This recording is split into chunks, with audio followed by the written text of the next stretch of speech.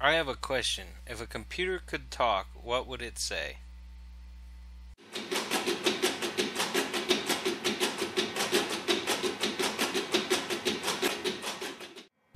This is Harry Porter, and he built a computer, actually a CPU, out of relays. And because it's a physical device, it possibly could be the only talking computer ever. So, this is the document that Harry Porter wrote after building this relay computer. And the reason why I'm showing you this is because I want you to see that a computer is a physical device. It's a, it's made of electronics and it's organized in a very structured pattern to do what a computer does. And the basis of all programming is based on these electrical organizational patterns. With without the pattern, you can't program it. It doesn't work. You have to have this consistency. If any one of these components breaks, your computer's broken.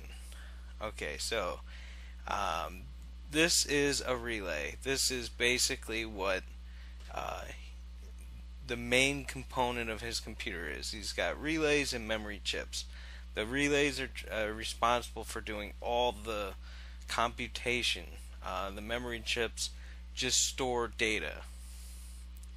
So, uh, and he goes into uh, detail on how this computer is organized. This is yeah, how he's doing all his logic, not and or XOR. Um, uh, he's got it all broken out into the different sections of this the CPU functions. Um, and he explains like here's the bus that's how data uh, transfers he explains exactly how this thing works and uh, he actually sets up the programming language like uh, you know these these bits right here are the instructions but he chose what the instructions are he could have had them anything he wanted uh, this is just what he chose uh, and this is part of the machine language and uh, each CPU has its own machine language because whoever builds the computer uh, designs the instruction set. And I mean, this is the computer. And uh, again, the only reason why I'm showing you any of this is because I want you to see that everything in the computers, there's nothing magical. Everything is an electrical component, all wired together in a specific fashion uh, to have a a, a method of configuration, which is programming language, and a method of execution, which is what the electronics does. And it just runs these programs, and uh, you know, it. If if we wouldn't have designed this machine, uh, like for example, if if you didn't have this documentation and you walked up to this guy's relay computer trying to figure out how to program it, would take you a very, very long time. Um, and this is very simple. This is just binary. Binary, uh, well, if you read this document, uh, it explains binary. Uh, and there's other places you can you can uh, get to explain what binary is. Um, but let's look at the size of this machine. I'm trying to find uh, well, here's his programming language. So here's an example of a program um, doing some math and some various things. Nothing complicated, not even a hint of graphics, let alone anything really complicated like a physics engine or anything like that. So this is what he used 1400 relays, 500 LEDs, 100 switches, 1000 boards, 1200 cabinets, 160 power supplies, a whole bunch of RAM chips. He spent $5,000 on all his components to make this computer system. It's actually it's not a computer system, it's just a CPU. This is an example of an old-fashioned vacuum tube board. Uh, I think this is 4 bits, but it might be 8 bits. Doesn't really matter. It's just one byte. Uh, this is a picture of a floppy disk that has about 1.6 million of the boards. So if you can figure out how big that would have to be to store that kind of memory, um, just to keep that in mind, it is different. A disk is uh, magnetic. Uh, this is a, a, an IC chip that provides uh, some logic. Um, it looks like it's four AND gates. Um, this is a schematic of um, basically the computer that Harry made. Uh, this is just the the ALU. Um, so this is just uh, computations and and moving data around. So now that we know what a computer is, let's talk about what a quantum computer is and how to program that.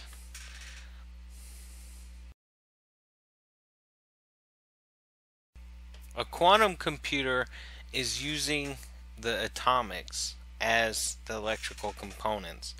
Um, so you're no longer using electrical pathways, you're using the actual atoms and their arrangement for logic. So let's say I have my atoms here. Uh, this is atom A and this is atom B, and each one of these represents a qubit. It doesn't really matter how they have it arranged, I don't know, and it's probably a trade secret, anyways. But let's just hypothetically say that I have two qubits here. And so I'm going to charge this one, um, uh, let's see, I'm going to charge this one red. Okay, and red could be the speed or the the the spin or the it could be any attribute of an atom that you can measure and set or dictate. So when I set this red because all atoms are intertwined by gravity, magnetism, electronic fields, all these different properties of physics.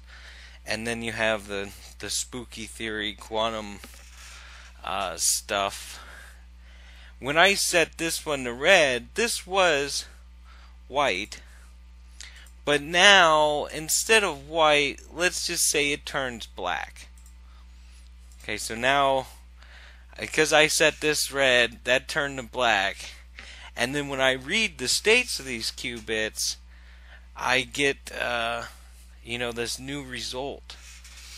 And they talk about uh, entanglement, and this is an example of entanglement, but but really all a- atoms and matter in close proximity are entangled in any number of ways. Uh, like, for example, on a quantum computer, you have to really regulate the temperature because when something changes temperature, it, it it's a, a radiation effect. It radiates out, and everything else around it warms up and and the the easiest way to define temperature is kind of like the speed of the molecule uh, that's kind of how a microwave you know boils water is it it vibrates the molecule, and the molecule goes faster and faster, and it heats up. Um, now, when they get into the quantum field, no matter what you say about any type of angle or perception of the particle, you're going to get a debate because everything's so intertwined. Any model that you use to try to explain it is going to leave out uh, details uh, in another model. Uh, like for example, temperature. If you heat something up, it speeds up. So if you're measuring speed and the temperature changes, then your entire data set is corrupted. Uh, and since you're talking about very small particles, uh, you know, like uh, somebody walking by or uh, a loud bang or uh, uh, you know somebody has have a microwave too close to the quantum computer or you know an earthquake or uh, the wind blowing or you know a rat farting down the street. I mean there's so many things that can affect this thing even though you know you use amplitudes to try to modulate out interference. I mean that's what radio does. That's i mean You know, that's what every all technologies do is you try try to uh, use a spectrum that will filter out the noise. And so this is what they're talking about when they're talking about programming this computer. First, you have to design the physical structure of it. So, first, how are you going to lay out the atoms and the molecular structure? And then, how are they going to create logic gates? Um, you know, like for example, if I entangle these two atoms and you know now I, I turn this one red and then that turn this one black and then I turn around and I, I, I make this one blue right? So now this one turns um, I, I, I don't know let's uh, let's make it uh, green you know? And then when I read it I'm only looking at uh, you know the speed or the size or, or whatever of the the atomic structure and so I get these ones and zeros, and they they talk about these theories. Uh, you know, like this uh, guy has a a cat in a box, and a, and and next to the box is a machine that will kill the cat. But since you don't know if the machine's on or not, the cat is supposedly both alive and dead because you don't know. Well, I'm gonna have to go ahead and say that that that is nonsense. It, the cat's either alive or dead. Just because you doesn't you don't know doesn't mean that it's in a quasi non-defined state. It just means that you are unaware. Like for example, if I tell you I'm going on a road trip to Florida and I live in California, um, I'm not in every single spot in between Florida and California on the way there because you don't know where I'm at. I'm on a route traveling, you just have no idea what that is. Now, they do use probability and statistics and a bunch of math to basically say that, you know, if I do this, then this particle's 90% going to do that, 5% going to do that, and they figure out all these distribution curves and waves, and and they say, well, uh, this is kind of what's going to happen. So you tell me, how are you going to configure these atoms so that you can do math um, and get the result that you want? And full Java program. Um, so to think about what we were talking about when we were talking about programming a computer, that was low level um, machine code. This program here could easily be a thousand kilobytes of data, uh, of program code, just to execute AES, which is the same type of encryption that is, uh, you know, behind um, Bitcoin. Um, and this is the computer program. I'm not going to bore you with how it works and everything, but what I am going to do is I'm going to scroll through it and here's some consonants and um, blah blah blah and this is the program okay? So I mean uh, you know there's a lot to it. It's doing all kinds of you know carry the one and you know add the flux capacitors um, you know and can you know mangle the little bits and and all these things are going on to to get this encryption going.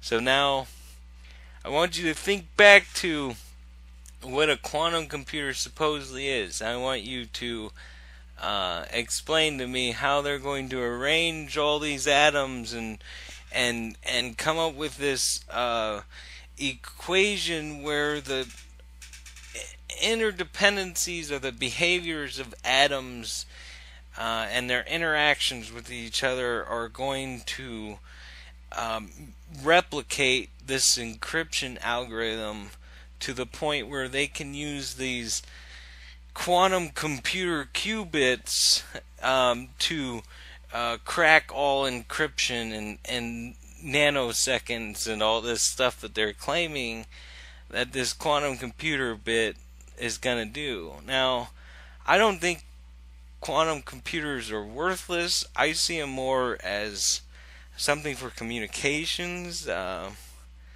I mean, I don't know. It it might be possible, but I just to me, I I sleep fine at night.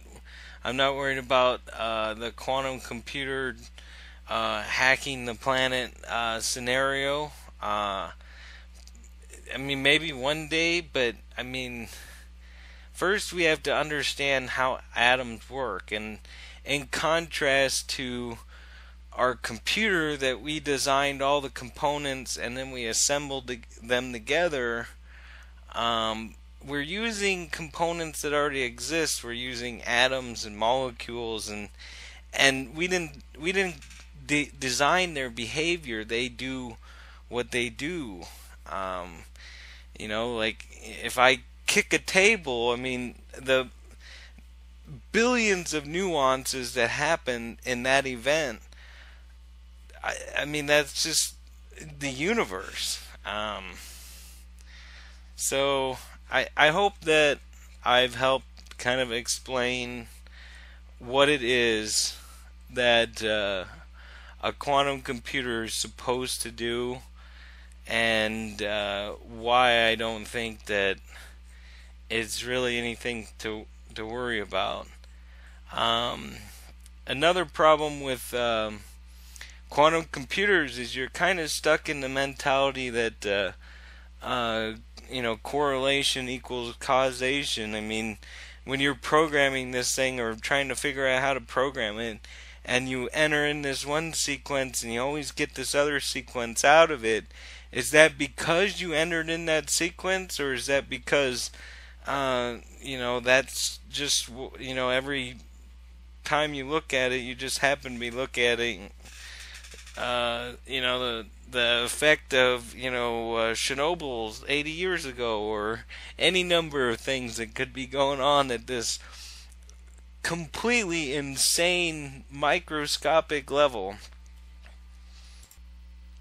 But uh, don't listen to me. Let's listen to uh, the guy at uh, M-, M Wave. They're building these uh, quantum computers. So let's go based on uh, what this guy is saying and ask yourself one thing how sure does this guy seem or how much of this would you guess is bluffing and hopefully you're good at poker this matrix is just some object that describes what states and energies are allowed in your system. The, the, energies are the eigenvalues, the states are the eigenvectors that correspond to those. So if you want to find those, all you have to do is diagonalize this matrix. So in some ways of thinking of it, quantum mechanics is nothing but a huge exercise in matrix diagonalization. The issue is the matrices are exponentially large, and so usually you can't just brute force uh, solve Schrodinger's equation, which is the double-edged sword that you're trying to use actually when you build a quantum computer. So the way that AQC works is that you have a Hamiltonian, this matrix, that has terms that have are functions of time. So you have a quantum system, and you somehow have knobs on your box. And you can turn these knobs and actually change this matrix. So think of a matrix with time-dependent coefficients. As you change these knobs, the eigenvalues of the matrix change. So what I'm plotting here are the uh, lowest say, 12 eigenvalues of some big matrix. And those numbers, those energies, correspond to the allowed energies of the physical system as I change these knobs in some particular way. So the idea behind AQC is uh, that it comes from condensed matter physics originally, is that if you begin your evolution in the ground state, that is the lowest allowed energy, the system that you cannot do better than energetically at the beginning, and then you turn these knobs slowly enough, what will happen is you will always remain in that blue state. Now, what it means to be in that blue state changes because you're actually changing the physics of the system.